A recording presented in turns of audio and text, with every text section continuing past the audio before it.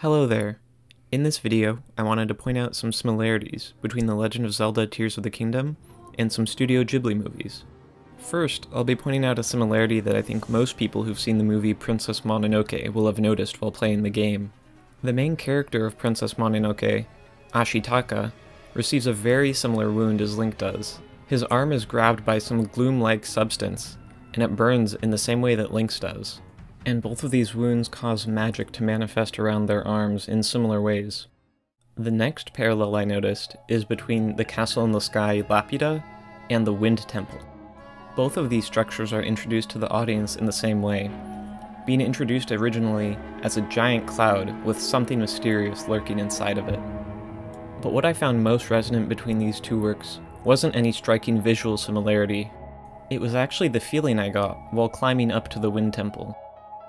You feel small and vulnerable while approaching the Wind Temple, literally at the whim of the winds.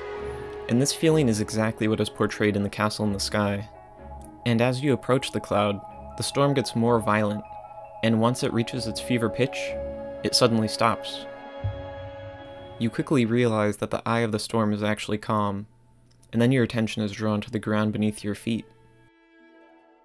This was my favorite part of the whole game, and the part that I thought was most resonant with any Ghibli work.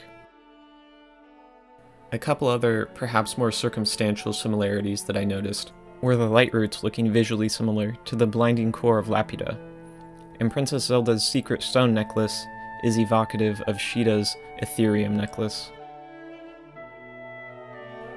And the last movie that I'll be comparing to this game is Spirited Away. Specifically the scene where Haku remembers his real name. And I don't have anything to say here other than just look at the similarities yourself.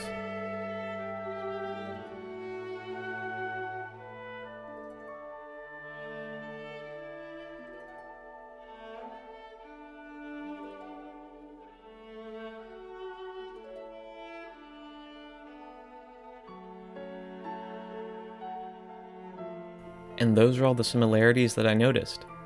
Personally, I think that these parallels are too strong for them to have been made accidentally. But anyways, did you notice any that I missed? Go ahead and comment below if you did. And thanks for watching.